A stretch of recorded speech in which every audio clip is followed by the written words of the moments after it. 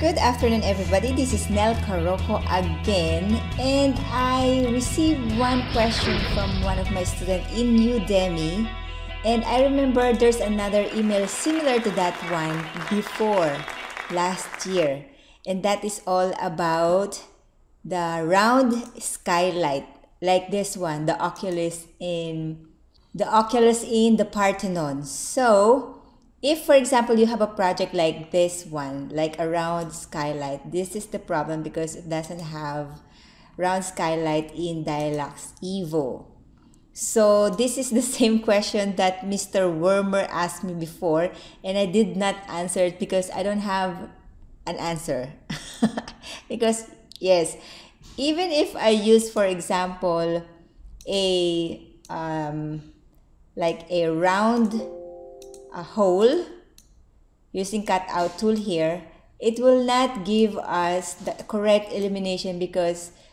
this uh, cutout hole will not give you the skylight effect.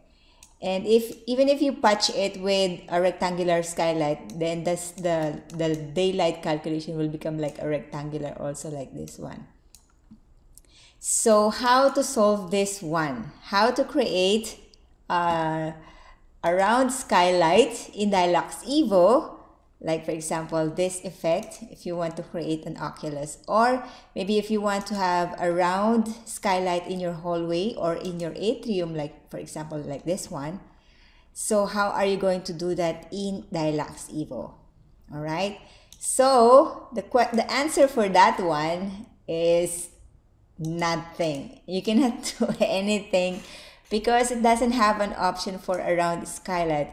Because if you go to the aperture tab it only gives you a rectangular or square skylight like this one. Yeah this is the roof window and that is the standard. And if you if you click it it will just give you an option of rectangular or a square.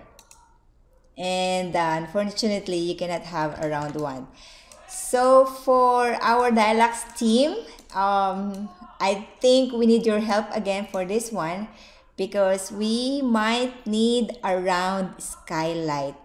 So please, Dialux team, we want to, to have the same effect like this Oculus in Parthenon.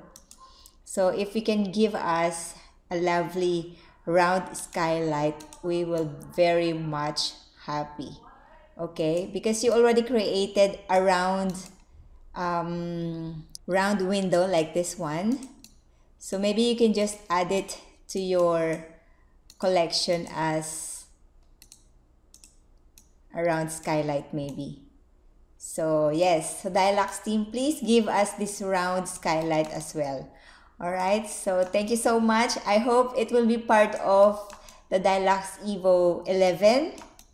Um, I'm not sure if you already finished with the Dialux Evo 11 version but I hope you will include this one around skylight. Okay, so see you again on the next video and don't forget to subscribe and of course enroll in my Udemy courses and check all my books at amazon.com. So yes, see you again on the next video.